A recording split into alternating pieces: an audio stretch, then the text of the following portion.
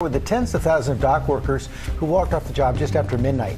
The strike threatens the nation's supply chains, could lead to higher prices, possible shortages.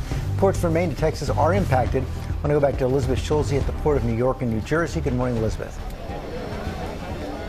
Hey, good morning, George. And this is the first time in nearly 50 years that tens of thousands of those union dock workers, uh, workers ports all along the east and Gulf coast have gone on strike.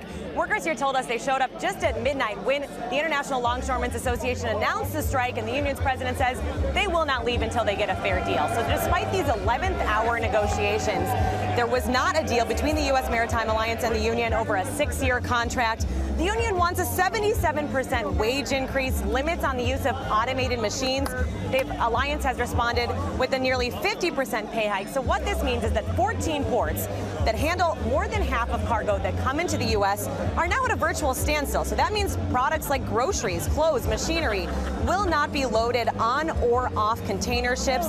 This strike really could be crippling for the U.S. economy, depending on how long it lasts. A week-long strike expected to cost $7.5 billion.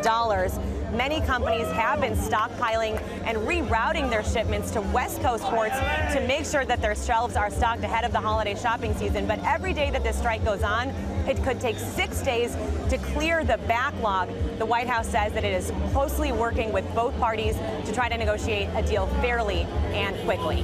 Michael. Yes, Elizabeth, a lot of disruption there. Thank you so much for that.